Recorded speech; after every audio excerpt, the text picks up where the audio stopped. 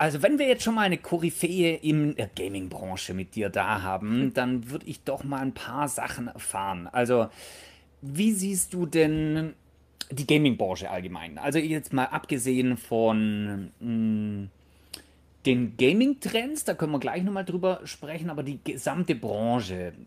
Wie würdest du zurzeit die Lage in der Gaming-Branche beurteilen im Sinne von Innovation, Diversität oder die Boah. Rolle von Influencern? Wie, es ist eine sehr komplizierte Frage, ich weiß, aber die, die äh, gibt ja auch Raum von, aus, von dir, aus deiner persönlichen Situation zu berichten oder zu sagen. Wie siehst wie, wie behandelt die Gaming-Branche uns Kunden zurzeit vielleicht?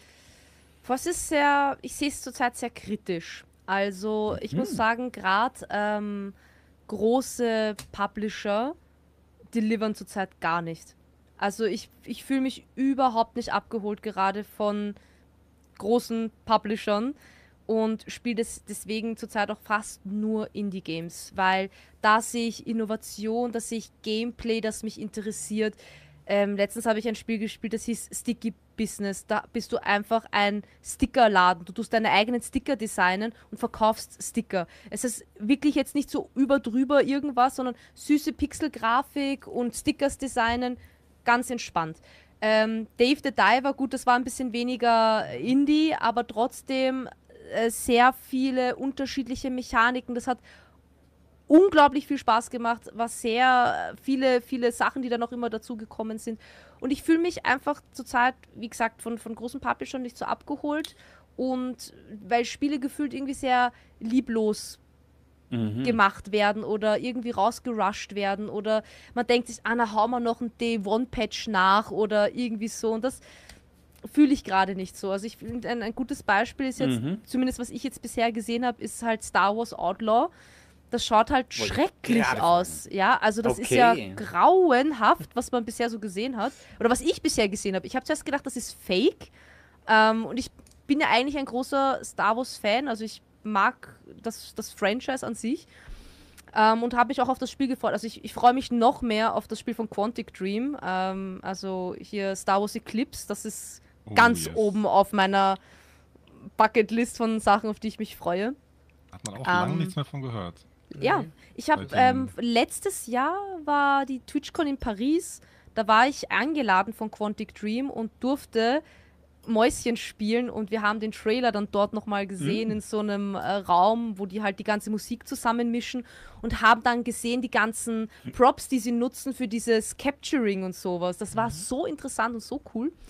Ähm, aber ja, also wie gesagt, große Mhm. Publisher enttäuschen mich gerade ein bisschen und ich stöber gerade sehr viel im Indie-Bereich rum. Was halt auch sehr schade ist, gerade wenn man halt so in die deutsche Computerlandschaft auch sieht. Also ich habe es beim deutschen Computerspielpreis mitbekommen, die Developer sind nicht, sind nicht happy.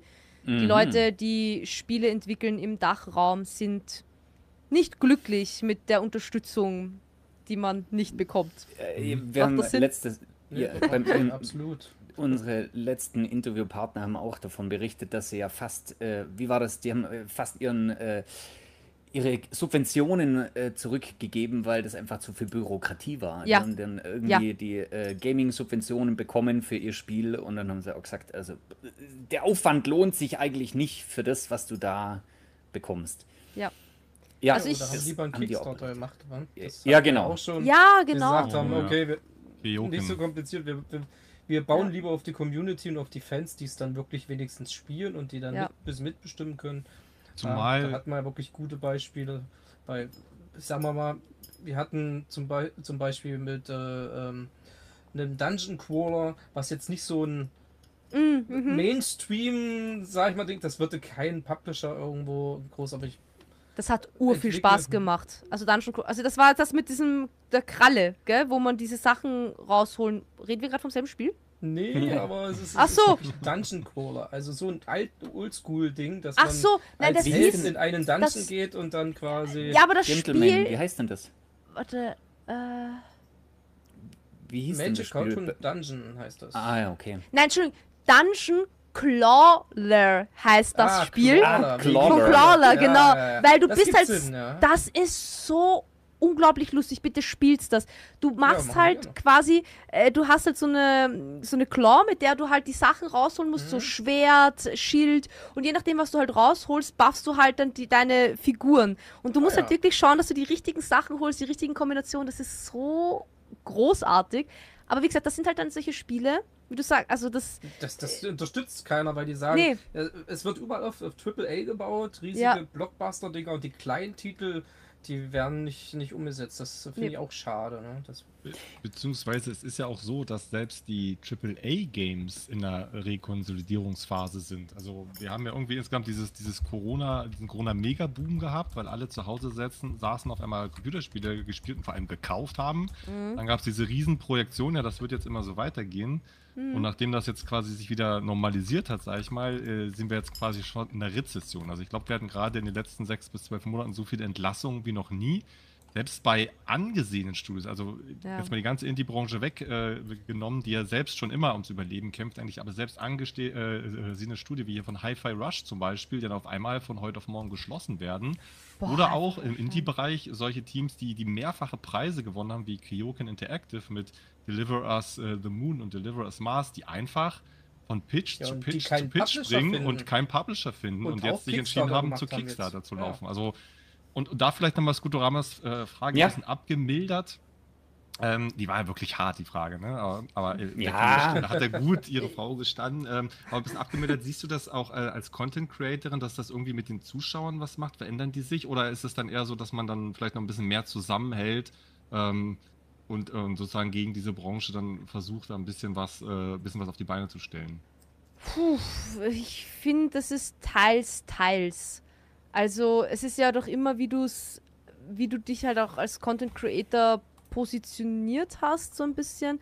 Es gibt ja Leute, die, denen ist das ja komplett egal, die Gaming-Branche. Die fangen dann mit so an der, mit der Branche an sich nichts an, ja. Die spielen halt den ganzen Tag Fortnite, haben dann ihre Zuschauer und die Leute wollen auch nur Fortnite sehen, so, ja. Und dann gibt es halt Leute, die sich ja dann doch ein bisschen mehr mit der Thematik ähm, auseinandersetzen. Und ich glaube dann schon, dass ähm, man als Community da ein, naja, was bewegen kann und sagen kann, so, hey, das klappt halt gar nicht, das ist kacke, das ist, das müsst ihr euch nochmal anschauen oder das boykottieren wir jetzt. Also ich glaube schon, dass es funktionieren kann, aber da müssen halt auch alle an einem Strick auch so ein bisschen Mhm. ziehen. Und das ähm, hat, finde ich, so ein bisschen bei Corona gut funktioniert, aber mittlerweile hat sich das auch halt sehr wieder aufgedröselt. Jeder ist wieder so ein bisschen für sich, ähm, alle machen so ihre Sachen und jeder schaut wieder so seinen Streamer, seine Streamerin und ähm, ja, ich finde so diesen Ruck, den es gab, wo alle so bei Corona zusammen, finde ich, geht Mhm. jetzt wieder ein bisschen auseinander. Ja, aber welche. äh, Jetzt kommen wir nämlich zur nächsten äh, Kategorie. Ist gar nicht so weit weg, weil we- du hast gerade gesagt, bei Corona sind sie alle mehr zusammengerückt. Äh, welchen Trend äh, siehst du denn jetzt? Oder wo denkst du, dass die gesamte Branche jetzt mal abseits von den äh, sehr harten Fragen, die ich gerade gestellt habe, sondern jetzt allgemein ähm, wo siehst du jetzt gerade in der, vielleicht in der technischen äh, Richtung das größte Potenzial? Wo könnte denn das gesamte Gaming hingehen? Ich, ich gebe es mal nur drei äh, Stichworte noch so. Game Pass ist ja in alle Munde. Steam Deck hört man immer wieder. Wir sind jetzt ein Cloud-Gaming-Kanal. also das sind so drei Stichworte. Wo denkst du denn, geht's technisch lang? Ja, technisch, so für mich persönlich, was mich freuen würde, ist natürlich immer, wenn alles, was ich halt am PC mache, wenn ich das Handheld-mäßig mitnehmen kann. Deswegen, also wir haben zu Hause nicht nur das Stream Deck, wir haben auch das Asus, Ellie? ja, irgendeins, ich weiß nicht gerade nicht, wie das heißt, aber? Ja, ich glaube das. Also dieses auch dieses fette Asus-Teil da. Ja, Mhm. ja. Ähm, genau, also wir haben, also gerade mein, mein Freund ist da auch sehr versiert, der mag das halt auch immer gerne, die Sachen auszuprobieren und ich bin dann auch immer großer Fan davon, ähm, weil ich ja eigentlich sehr der Konsolenspieler bin. Und ich dachte ja eigentlich, dass Sony ja jetzt mit diesen Dingern da, die sie da rausgebracht haben, dass ich jetzt auch endlich meine Playstation überall hin mitnehmen kann, aber dann habe ich gecheckt, ach, das ist ja nur Remote und dann war ich ein bisschen sad, aber gut, it is what it is. Ähm, so technisch gesehen, also wie gesagt, ich freue mich Ja. über alles, was ich quasi mitnehmen kann. Ähm, also wenn ich überall die Möglichkeit habe zu gamen, weil ich halt als Moderatorin auch sehr viel unterwegs bin. Ähm, wenn ich jetzt aber so denke, spielemäßig, äh, entwicklermäßig auch so, glaube ich, dass halt Spiele, die im Fokus haben, dass Streamer mit ihrer Community interagieren können oder zusammenspielen können, auf Twitch größere Begeisterung finden werden. Ähm, Chained, also Among Us war jetzt ist ja ein gutes Beispiel. Also es ist ja komplett simpel. Mhm.